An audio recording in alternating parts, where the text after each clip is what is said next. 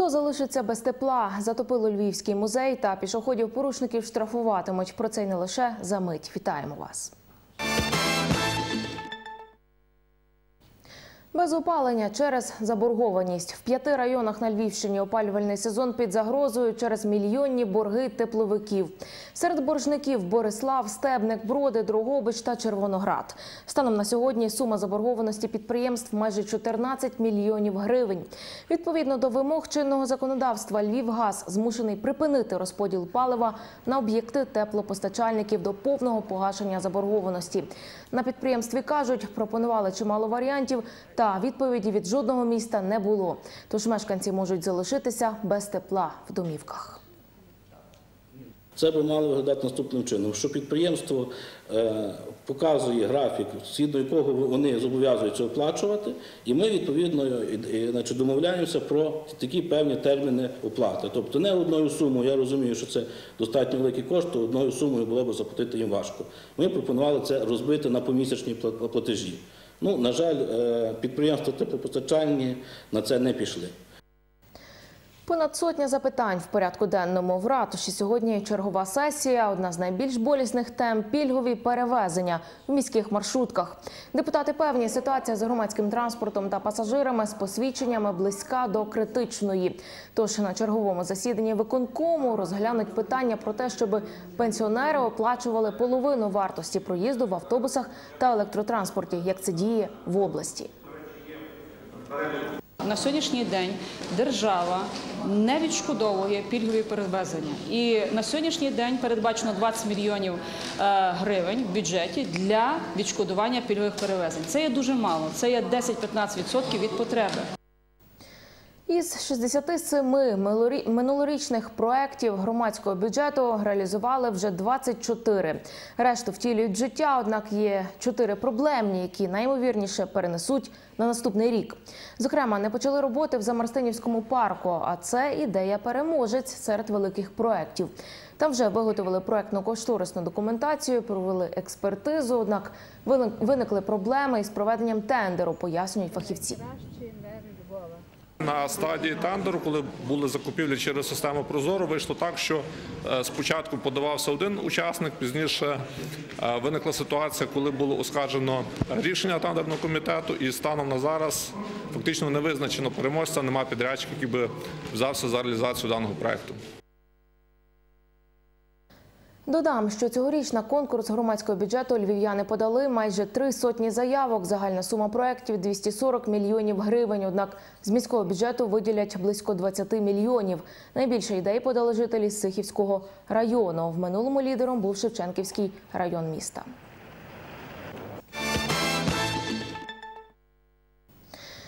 Причиною пожежі в садочку на Вербовій 17 у Львові стало коротке замикання в електрощитовій. Про це інформують надзвичайники.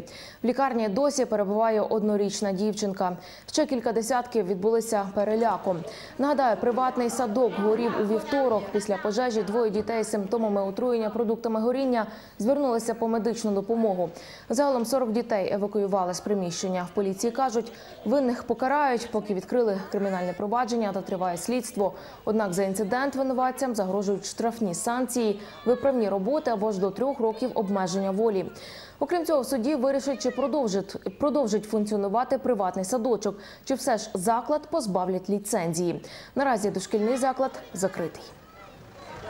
Шевченківським відділом поліції було відкрите кримінальне провадження за статтею 270 Кримінального кодексу України. Це порушення правил пожежної безпеки, значить, що е, призвело за собою е, наслідки у вигляді е, нанесення шкоди і здоров'я одній дитині. Суд взяв під домашній арешт продавчиню, причетну до отруєння 71 людини у Львові. Підозрювані в порушенні санітарних правил і норм під час виготовлення риби, гарячого копчення встановили запобіжний захід, домашній арешт на 60 діб. Правоохоронці встановили, львів'янка коптила рибу у власному гаражі в антисанітарних умовах та реалізовувала її на одному з львівських ринків.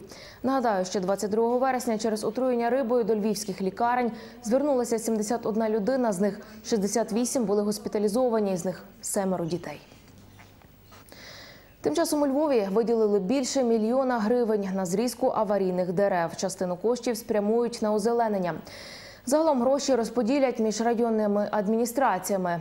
До прикладу, у Франківському районі міста більше восьми сотень дерев, які потребують обрізки, та 75 аварійних зелених насаджень. За даними посадовців, щотижня на гарячу лінію надходить півдесятка звернень від громадян про небезпечні дерева. По кожному збирають комісію. Екологія в пріоритеті. Львів модернізуватиме очисні споруди у співпраці з польським урядовим фондом. Для цього підписали меморандум на екофорумі, що відбувається в місті. Співпраця полягає в розбудові і модернізації системи відведення та очистки стічних вод і залучення інвестицій. Зокрема, Національний фонд Польщі допомагатиме готувати тендерну документацію на виконання багатоваріантної концепції розбудови та модернізації системи відведення й очищення водного ресурсу. Також співпраця передбачає обмін досвідом та розроблення спільних проєктів для залучення фондів з Євросоюзу. Адже зі словами екологів, очисні споруди Львова впливають на довкілля не лише в Україні. Оскільки забруднений західний буг впадає у віслу та басейн Бал- Балтійського моря. Фінансування проекту передбачає залучення іноземних інвестицій, а також національних екологічних фондів, внесків міста та власних коштів Львівводоканалу. Ми знайшли дуже багато спільних е, точок дотику, і ми, як Міністерство природи, надзвичайно раді тому, що те, що робить Україна на шляху до європейської інтеграції, викликає довіру і е, дає результати, в тому числі підписання такого меморандуму і подальші інвестиції, які ми будемо бачити, подальші проекти, які реалізовані, в тому числі у Львові, але також і по всій Україні. Розмита стеля, понівечені оригінальні фрески та експонати. У Львові вже вкотре затопили музей Соломії Крушельницької. Зокрема, постраждали три кімнати із сторічними афішами, меблями. Та платівками. Із самого ранку працівники власноруч рятують раритети та в розпачі готують скарги до всіх можливих інстанцій. Найбільше від води постраждали меблі та стеля. Окрім того, зіпсовані також старовинні люстри. Дуже постраждав патефон-програвач. Це є е, єдиний е, патефон, який ми використовували, який був в робочому стані, на якому ми могли е, програвати архівні платівки. Постраждали також дуже, як я вже говорила, дерев'яні частини, зокрема рамки, у яких зберігалися фотографії. Врятувати частину експонатів вдалося завдяки швидкій реакції працівників музею, розповідають у відомстві. Пів восьмої сторож е, отримав повідомлення від мешканців квартири нижче поверхом, е, що ми їх заливаємо. От, і сторож мені перезвонив, так як е, це е, потребує службова інструкція. Він е, повідомив за фондами і отримав дозвіл на відкриття експозиції, бо в нас до півдесятої експозиція під сигналізацією закрита. За останні роки це вже 20-те затоплення, каже директорка музею. Основна причина недбалість мешканців квартир на верхньому поверсі. Саме ці два зали ще в 90-ті роки мешканцями тієї самої квартири, але іншими, тому що а, та мешканка продала, ми навіть з нею судилися, вона продала цю квартиру, з'явилася інша, а ця попередня в 90-ті роки залила ці два зали.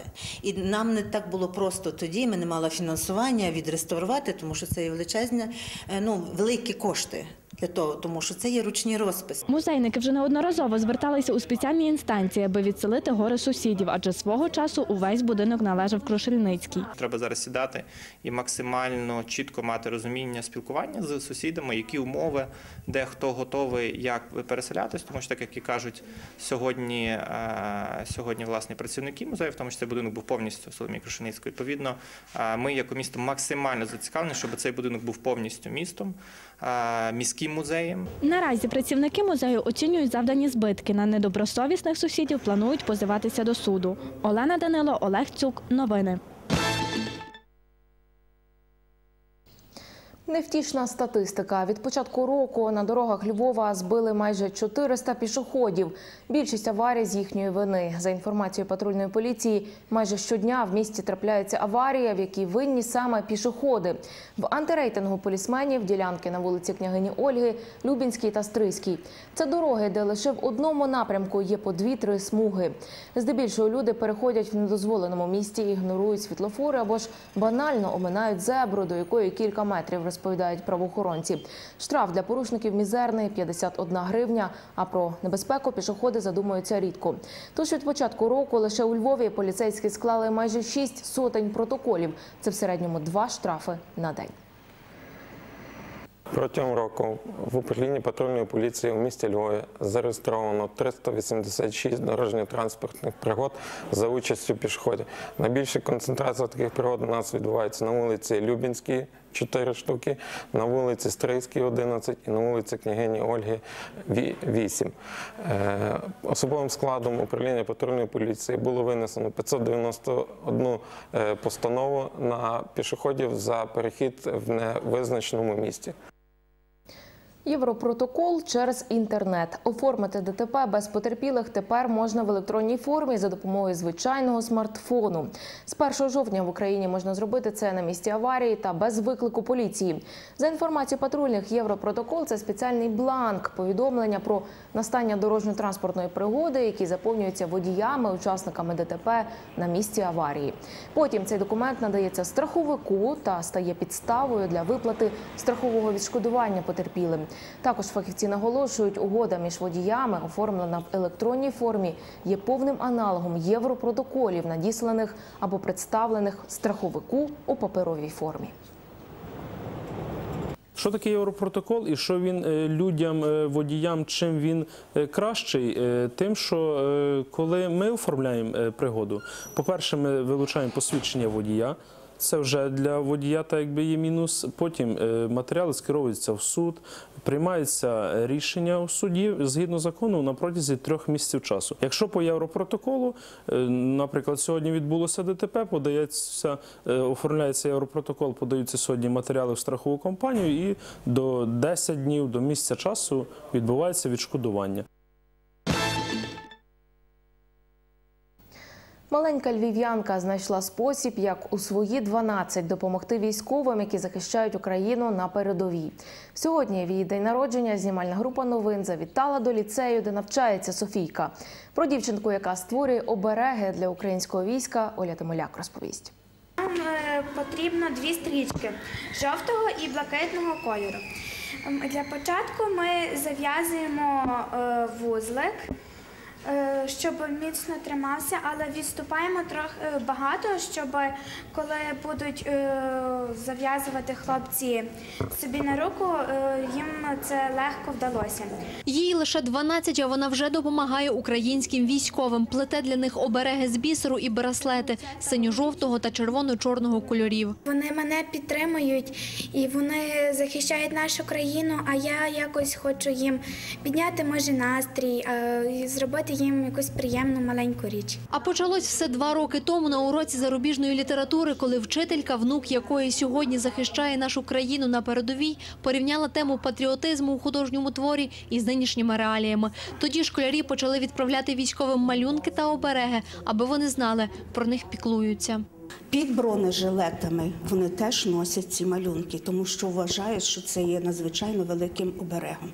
Їм не можна носити металеві браслетики, але ось ці браслетики, символи України, вони з задоволенням носять. Софійка вже сплела більше сотні оберегів через волонтерів. Вона передає їх для військових 24-ї механізованої бригади. Мати пригадує, як два роки тому донька повернулася зі школи і повідомила, як зможе, але вона допомагатиме військовим. Одного разу прийшла з ліцею і каже: Мамо, я знаю, що е, є люди, які це потребують. Можна оті всі браслетики, що я наплела, я ще наплету, і ми передамо. Тепер Софійка, учениця 6 класу минулого року, вона отримала шкільну відзнаку Активіст року. Однокласники захоплено спостерігають за роботою дівчинки, і всі вони дуже хочуть, аби війна якнайшвидше закінчилась. Слава Україні! Героям!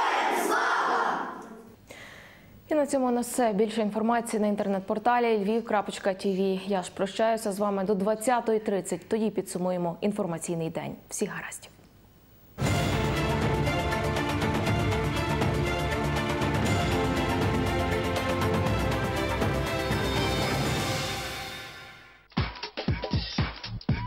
Одяг ведучих від торгової марки Ролада.